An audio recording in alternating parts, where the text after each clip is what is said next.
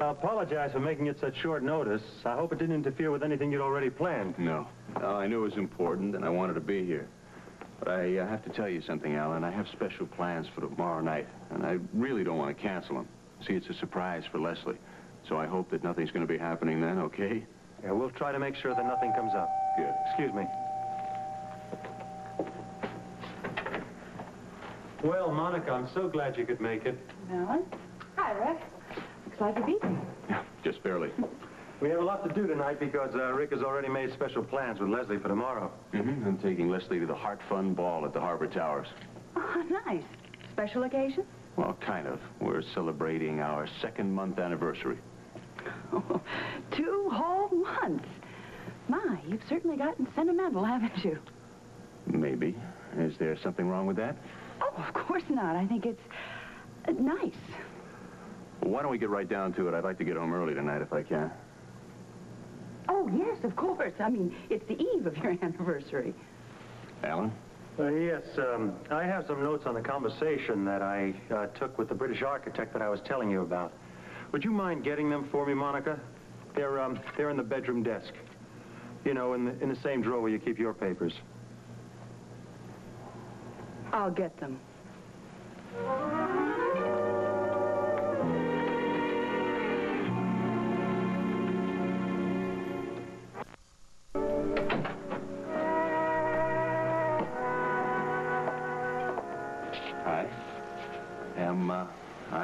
Doghouse? No, of course you're not. I'm just glad you're home. And so much earlier than I expected. Well, we got the business done right away, and I didn't stick around any longer than I had to. Where's Laura? She's up in her room. She didn't feel well, and she went to sleep early, and I haven't even seen her all night. Mm-hmm. I'm sorry to hear that. I uh, hope that it's not serious. No, she assured me it wasn't just a headache. Poor baby. Your plans for the family dinner just fell through, didn't they? Yeah, kind of. Did you make something for yourself to eat? Mm-hmm, I did. Did you eat? No, not yet. Okay, I'll fix you something. Oh, no, no, no. I'll just have a sandwich later on, maybe. Um, what do you say that we make up for all this tomorrow night, huh? We don't have anything to make up. Well, I think that we do. And I have been uh, keeping this as a surprise, but I don't think I can keep it any longer. Voila!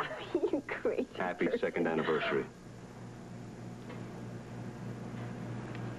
Two months. Oh, you sweet thing, you remembered. Hmm. Well, go ahead, open it. Oh, tomorrow night. Mm-hmm. The Heart Fund Ball. I planned this two weeks ago. And tomorrow night is going to be just for us. We'll go to the Heart Fund Ball first, and um, then we'll have a late night supper at one of those swanky places. How does that strike you, huh? Ah, it's just gorgeous. Hmm. Oh. Do you think we should really go out and leave Laura alone after we insisted that she spend all the school nights at home? I imagine that she can make it through one night all by herself. And don't forget, you were the one that promised that the mother and wife roles would be kept in perspective. I'm sorry, you're right. It's a beautiful idea, and I have a very thoughtful husband.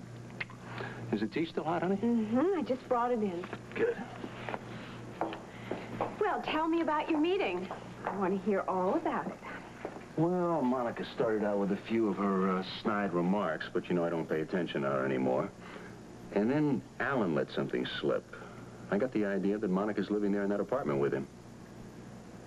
Really? Mm-hmm. After that I happened, she got uh, very reserved. I don't think she was any too happy about it. Well, goodness, that's quite a piece of news. Oh, what's all this? You think you're going to take off early? Ah, caught. Yes, in fact, I'm leaving to go home. I thought I'd like to spend a little time with Laura before we go out this evening. That way I figure I can fulfill my wifely and motherly duties all in the same evening. Well, I think that's an acceptable compromise, but I hope you're not looking at this evening as a duty. Oh, of course I'm not. Because I'm really looking forward to the night. The evening just for the two of us, and we're really going to do some celebrating. I'm looking forward to it, too. Hmm. I just felt that as long as I hadn't seen her last night, I didn't see her this morning before she went to school, I should spend a little time with her before we leave. I understand. I just hope she'll be there. Oh, I'm sure she will. I I don't believe that she would want to start breaking our rules this early. Well, I didn't mean to sound cynical, honey. I mean, I'm sure she'll be there, okay? She really has changed her whole attitude, Rick. I feel... I feel so much better about everything lately. I know. I can see it in your eyes. They got their own sparkle back again. Speaking of which, when will you be home? Well, as soon as I can get there, probably an hour. Okay, now don't let yourself get tied up with anything here, please. Don't worry, I wouldn't miss this for the world. This evening, especially after all the work I went through to put it together, I'll be there in plenty of time. See you at home. Okay. You, Monica? Well, I'd like to apologize to you. I feel very bad about what happened at the apartment the other night. I don't know what you're talking about. Oh, I think you do. I'm embarrassed about the whole situation. Well, there's no need to be embarrassed on my account. Monica, the way you run your life is your own business, not mine. I mean, if you've got something good going for you, enjoy it. Don't go around apologizing for it. I just didn't want you to get the wrong impression. I don't think I did. But I'll tell you one thing. I hope it's Alan that you care about, and not his connection with the new cardiac wing.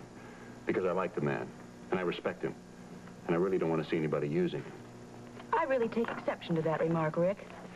I am not using anyone. Okay, then. Fine. I'm glad to hear it. Oh, boy. No matter how much I change, I'll still be the same in your eyes, won't I? You never forgive and you never forget. We all have our faults, Monica. Maybe that's mine. Good night. I'm home. So I see. Oh, I'm sorry. I didn't mean to yell. I told you I'd be home soon. Hi. Well, since we weren't going out right away, I've just been sitting here taking it easy. Sure. Why not?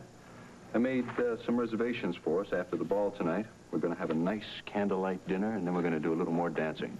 Oh, that sounds marvelous. Where are we going? Well, I want to save that for a surprise. But I think you'll like it. It's a nice little spot. That's really lovely. Hmm. Do you know how long it's been since we dressed up and went out? Mm-hmm. Too long. Say, where is the uh, young lady of the house? She's not here. You mean she didn't come home after school? No, no. Well, she was here when I arrived. Uh, she's out on a date. A date? Who with? Scotty, Well, how come? I thought we had a rule that there was no dating on school nights. I made an exception for this one time. You see, she had promised Scotty that she would go to a school dance with him back before we even gave her any rules, and I didn't think that she should have to be penalized, or Scotty either, for that matter. Leslie, when you take a stand, you have to stick to your guns. If you let her get away with this, she's going to expect you to, well, to let her do it other times. No, no, I made it very clear that it was just for tonight. Well, I hope so. I know you've been pleased the way everything has been going. If you get too permissive, I think she's liable to take advantage of it. Believe me, I'm not going to make a habit of it. And I told Laura that earlier, and she said she understood. Okay. I just hope it works out. I'll get it.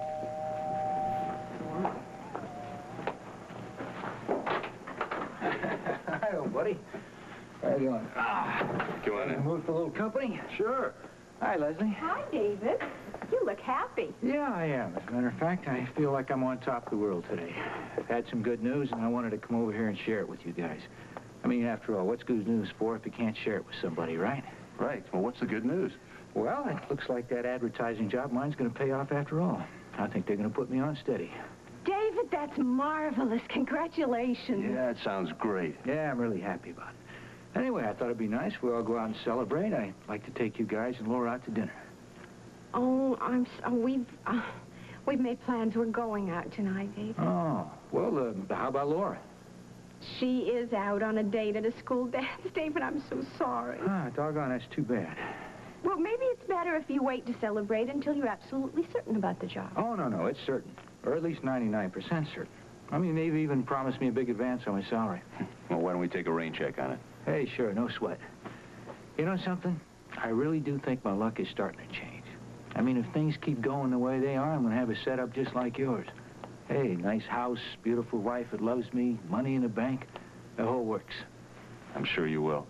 And we both wish you the best. Hey, I know you do. I mean, it's really nice to have friends like you, too. Well, if you guys will excuse me, I'm going to go change. Oh, sure, yeah. Don't, don't let me hold you up. Oh, you stick around. We're going to have a drink to celebrate. Got a deal? See you in a bit. Okay, honey. Oh, I'm really happy about this job. I wish you the best. I hope it gets you everything you want, because I don't know anybody who deserves it more than you, David. Oh, thanks a lot, Rick. I really appreciate that. You know, I feel like I'm starting to get my confidence back, you know? I mean, I've been a loser for such a long time, and now I think it's about time I had a crack at that winner's circle. I never thought of you as a loser. You just had some bad breaks, that's all. Yeah, but sometimes when you lose so many times, you just kind of get the feeling it's going to go on that way forever, you know? But anyway, that's enough about me. Hmm, not quite. A little toast. All the best, buddy. Hey, friendship. mm. Mm. So, tell me, how's things going with Lauren Leslie, huh? I mean, have they started patching things up? Yeah, I'm glad to say there's been a big improvement. They seem to be getting along just fine. Oh, I'm really glad to hear that. Yeah, I know Leslie was kind of unhappy there for a while. Well, you know, some guys who aren't as understanding as you are might have resented all the time that she spent with Laura's problems. I mean, I know it took a lot of her attention away from you. When a guy's lucky enough to have a wife like Leslie, he can handle almost anything. Yeah. That didn't take long. Boy, oh boy, that's some dress. I've never seen you look more beautiful. Thank you, David. David's right. You are a knockout. Thank you, sweetheart. Leslie, I hope you'll have time to stop by my place and give me some more ideas on how to fix it up. Now that I'm going to have some money come in, I'll be able to do it right. Of course, I'll be happy to. Well, look, I'm going to run along. I don't want to interfere with the evening anymore. But before I go, I want to make a little toast here. To Rick, who's always been one of the luckiest guys I've ever known. hmm. Well, I'm going to get out of your way now. You guys have a nice evening, huh? Thanks, David. Thank you. Yeah. Good night, Leslie. Good night, David, and congratulations again. Oh, well, thank you. And listen, don't forget, you know, we're going to have to go out and celebrate, huh? Mm-hmm. We will. Okay. Good night. Take care.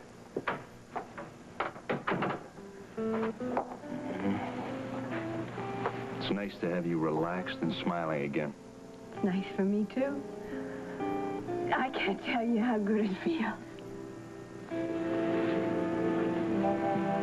We're going to make the first dance. Oh, you look so You like it? It's been a long time since I've worn it. just gorgeous. Hmm. And oh, I do love you. Oh, Hold on there, Cinderella. You keep this up, we ain't going to make the ball. it's okay. Those things only start late anyway. Rats. Don't go away.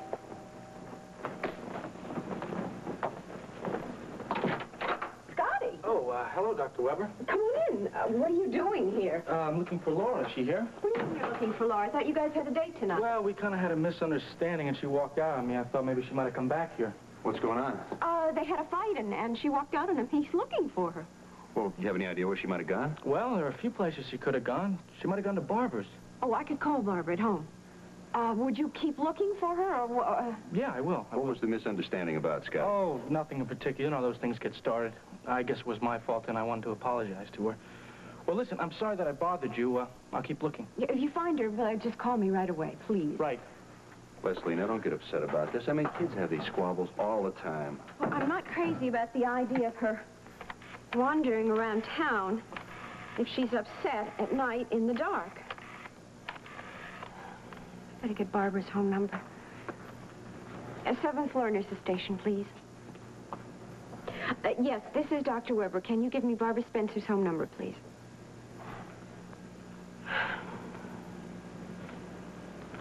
Yes, thank you.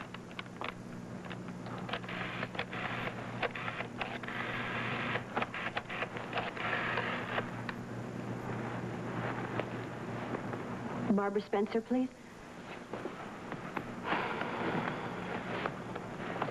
Barbara, hello, this is Leslie Webber. I'm looking for Laura. Is she there with you? Uh, no, I know they had a date, but uh, she's not with him now. Well, um, uh, look, I'm sorry I bothered you. Uh, no, no, I'm, I'm, I'm sure it'll be all right. Thank you anyway, and uh, good night. Well, Barbara doesn't know where she is either. What do I do now? Rick?